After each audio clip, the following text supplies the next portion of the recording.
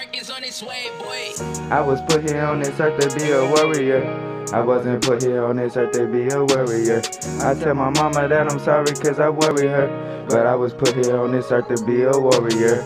Can I ask you what you believe in? Slay your demons, keep that chopper on your side even when you sleep. Alright, what's good y'all? I'm back with another video. This one's on uh spirituality and numbers. And we're gonna be doing 111 today. Now, 111 symbolizes a friendly reminder of positivity, okay?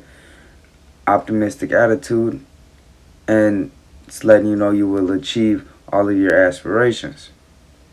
Now, the number 1111 resonates with new beginnings, motivation to move forward, taking inspired action, achieving success, independence, and leadership.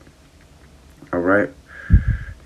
Now, also, the number 1111 is twin flame separation. All right.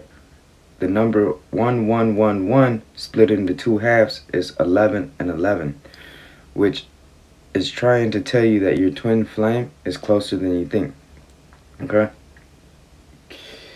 You are being attracted by your twin flame. Your spiritual energies are attracting each other and you will meet soon. Okay?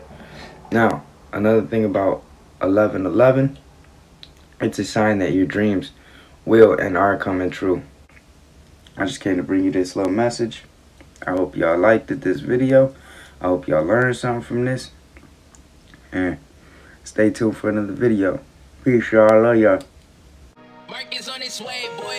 I was put here on this earth to be a warrior. I wasn't put here on this earth to be a warrior. I tell my mama that I'm sorry cause I worry her. But I was put here on this earth to be a warrior.